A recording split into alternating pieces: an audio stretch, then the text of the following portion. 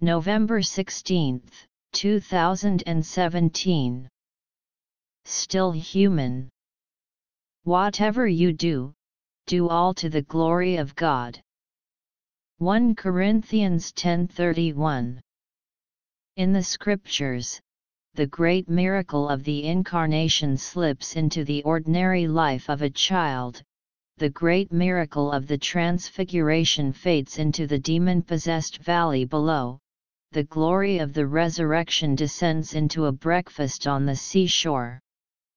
This is not an anticlimax, but a great revelation of God. We have a tendency to look for wonder in our experience, and we mistake heroic actions for real heroes. It's one thing to go through a crisis grandly, yet quite another to go through every day glorifying God when there is no witness, no limelight, and no one paying even the remotest attention to us.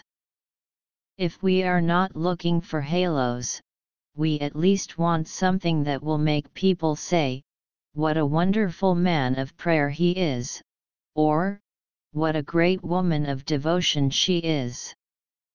If you are properly devoted to the Lord Jesus, you have reached the lofty height where no one would ever notice you personally.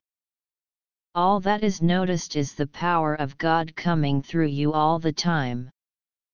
We want to be able to say, Oh, I have had a wonderful call from God but to do even the most humbling tasks to the glory of God takes the Almighty God incarnate working in us. To be utterly unnoticeable requires God's Spirit in us making us absolutely humanly His. The true test of a saint's life is not successfulness but faithfulness on the human level of life.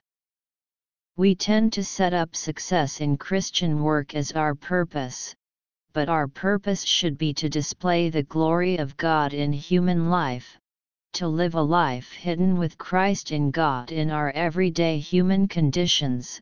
Colossians 3 3 Our human relationships are the very conditions in which the ideal life of God should be exhibited.